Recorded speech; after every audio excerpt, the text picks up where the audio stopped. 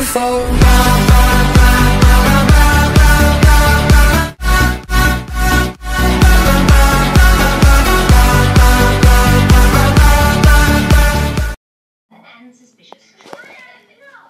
guys, it's me, Luther. I'm going to be showing you Respawnables video the new update.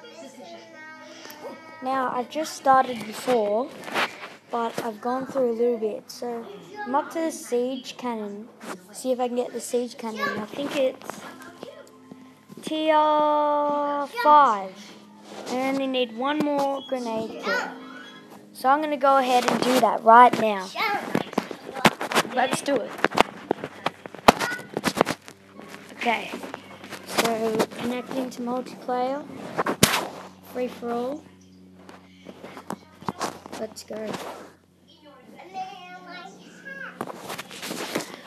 Um, so I've done a bit, but thank God I've been playing this game for quite a while because I have the, the explosives armor, so it reduces damage of explosives.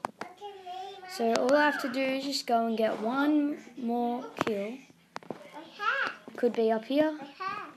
Might be it. No. Well. Try the next one.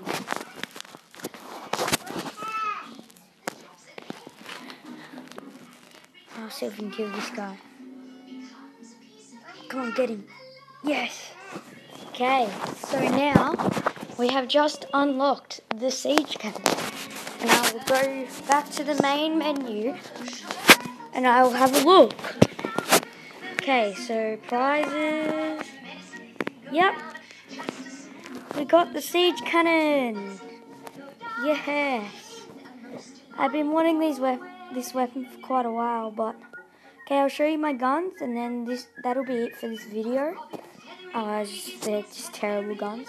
Flare gun, I got that. I bought that in the Santa pack. Blunderbuss.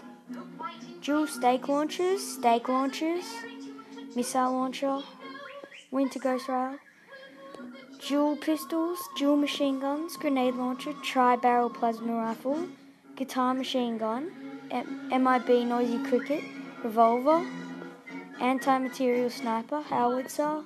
Really want that chem rail. I'll get it soon.